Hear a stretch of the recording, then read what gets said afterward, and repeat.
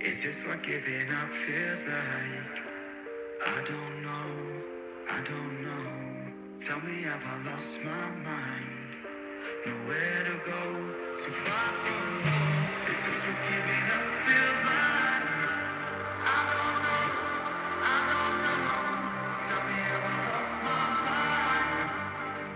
Hi guys welcome back to my channel this side Sakshi Dhunjal और मैं रुकी हूँ आज ओली में बहुत ही प्यारी प्रॉपर्टी पे मतलब इतना मेस्मराइजिंग व्यू है मेरे सामने। जहाँ पूरे पहाड़ एक टाइम पे बर्फ़ से ढक जाते हैं। दिसंबर में यहाँ पे सबसे बड़ा एशिया का यू you नो know, मतलब एक कहते हैं ना स्नो बोर्डिंग और स्नो मतलब रिलेटेड एक्टिविटीज़ के लिए एरिया माना जाता है।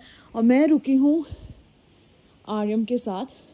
आज मैं आपसे ये प्रॉपर्टी शेयर करने वाली हूँ पूरे ब्लॉग में। So I am very pretty excited to share this place with you जिनके पास ह्यूज पार्किंग से लेके रूम्स इतने अमेजिंग है फ़िलहाल मैं अपना रूम तो दिखाऊँगी नहीं जो बिल्कुल मेस्ड अप है।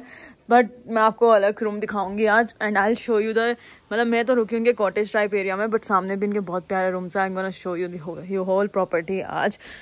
So I am pretty excited to show you this place let's just do it after the breakfast which is actually there with me in the room.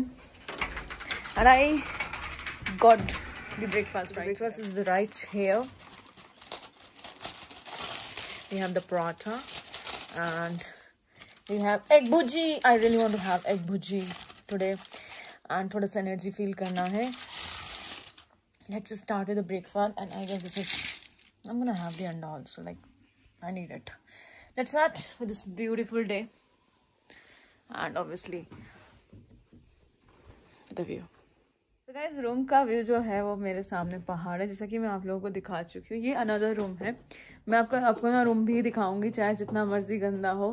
And ये रूम हमने clean करा के रमन का सामान हमारे room में रखवाया एक्चुअली में। ये रूम कितना अच्छा है ना। वो this is actually Raman's room पर मेरा रूम ज़्यादा ही बेटर है। मुझे लग रहा है आप लोगों को अपना रूम दिखाना पड़ेगा। तो हर रूम में थोड़ी छोटी छोटी कैनवस पेंटिंग है। एंड उसके अलावा मेन्यू हर रूम में है।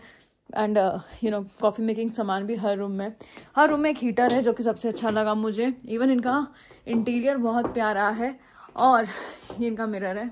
हर रूम में इन्होंने मिरर दिया हुआ है। आई गेस लड़कियों को कुछ ज़्यादा ही शौक है मिरर में देखने का बट मुझे आजकल लगता है जो फ़ैशन ब्लॉगर्स हैं वो भी कुछ ज़्यादा मिरर देखते हैं। जैसे कि हमारे साथ रमन है आज। है ना रमन? तो मिरर देखने का शौक है? मिरर देखने का बहुत ज़्यादा। वो मुझे पता है मुझे लगा लड़कियों को ही शौक होते हैं बट तुमसे मिलकर मुझे एहसास हुआ नहीं लड़कों के भी शौक हो सकते हैं मेरा देखने वाले। कोई बात नहीं नेक्स्ट आ जाओ। सो so, मेरा रूम में सारा सामान मेस्टअप है उसका और मेरा चल मैं आपको अपना रूम भी दिखा दूँगी ऑब्वियसली सो गाइस मेरा रूम तो वैसे भी बहुत मेस्टअप है क्योंकि हमने सारा सामान यहीं शिफ्ट कर लिया हमारे शूट के चक्कर में। फ़िलहाल ये मेरा रूम है जो कि मैंने बहुत मेस्टअप करा हम लोगों ने मिलकर क्योंकि हमने सामान यहीं शिफ्ट करना पड़ा।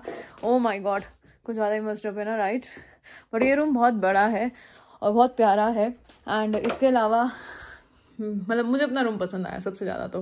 तो मेरे पास वर्ड्स नहीं है अपने रूम के लिए। पर basic facilities obviously they have provided us in every room but मुझे सबसे अच्छा कॉर्नर ये लगा सिटिंग एरिया जिसको मैंने सबसे ज़्यादा बेस्टअप कर रखा है। सिटिंग एरिया सबसे ज़्यादा, सब, सबसे कॉर्नर सबसे बेस्ट है, क्योंकि आप सामान रख सकते हो अगर आप बड़े थोड़ा सा लंबे दिनों का प्लान कर कर आ रहे हो तो। And let just go to सामने वाले रूम्स कि वो कैसे हैं? ना so that's a room tour guys जहाँ मैं स्टे कर रही हूँ। और ये है मेन हॉल रूम वो है सामानों की भसड़, क्योंकि ब्लॉगर के सामान कुछ ऐसे ही फैले होते हैं। ये है मेरा शीशा। अब चलते हैं अंदर की तरफ़। टीवी में दिखाना भूल चुकी हूँ। दिस इज़ अंदर की तरफ़। And look at the bed और इनकी फैसिलिटीज़ में हमारे पास हीटर है। और हमारे पास थर्मल भी है रूम के अंदर तो हम पानी आराम से गर्म कर सकते हैं। Let's just check out the washroom this is okay washroom और हमारे पास यहाँ पे बॉडी लोशन शैम्पू और शावर जेल भी है। So that's the room comment करके बताओ नहीं डीएम करो डीएम में बताओ कैसा लगा। वैसे यहीं बता दो। इसी इसी एरिया में हाँ। तो so, जैसा कि मैं एंटर कर चुके हूँ नेक्स्ट मतलब यू नो इनकी बिल्डिंग में और यहाँ पे थर्टीन रूम है इन टोटल एंड इसके अलावा दिस इज़ दी बेडरूम ठीक है? ऑब्वियसली मुझे याद है, मुझे बेड पे बैठ के आपको रेटिंग बतानी है कि इनका बेड कैसा है बट मैं रात को इनके बेड पे सो चुकी हूँ। So I really like their bread I mean bed oh my god मेरे बर्ड्स को कभी कभी क्या हो जाता है?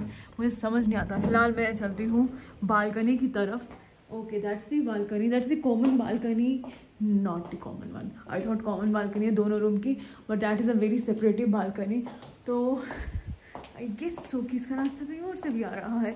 आउटसाइड से भी तो आप बालकनी में आउटसाइड से भी एंटर कर सकते हो। सो so, व्यू के साथ आप इंजॉय कर सकते हो। यहाँ पे यू you नो know, खाना स्नैक्स आप जो इन्जॉय करना चाहो। इस in this room is lovely तो यहाँ पे जो रूम्स है वो सारे के सारे इसी टाइप के थर्टीन के थर्टीन रूम एंड ऐसे ऑब्वियसली मैं पे बैठ के रेटिंग बताती हूँ आपको। क्योंकि मैं कैसे भूल सकती हूँ कि मैं बेड को रेट करती हूँ? And heavy go okay I rate this seven point five out of ten comfortable तो है but you know it's not that much फ़िलहाल, हर रूम में हीटर है, जो कि आगे सबसे सबसे बेस्ट चीज़ है, जो कि मैं आपको बता ही चुकी हूँ।